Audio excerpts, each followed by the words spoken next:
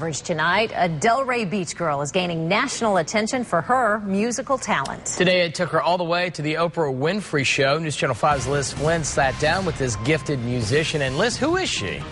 Brianna Kahane is her name, and you're going to want to remember that. She may only be nine years old, but she's an extremely talented violinist who's very passionate about her music.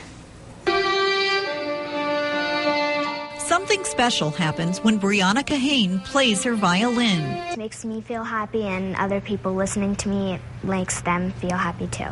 Brianna is just nine years old. She's been playing the violin since she was four.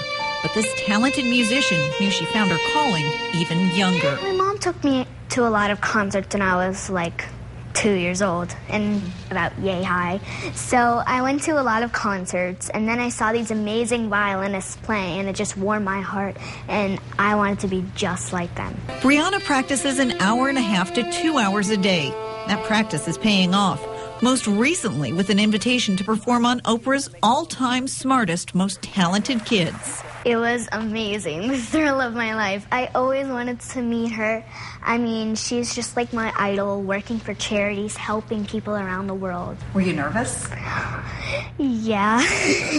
Her family couldn't be more proud. I, I honestly just can't believe it. I'm just, I'm just so proud of her and just so excited. Brianna would love to perform as a professional musician someday.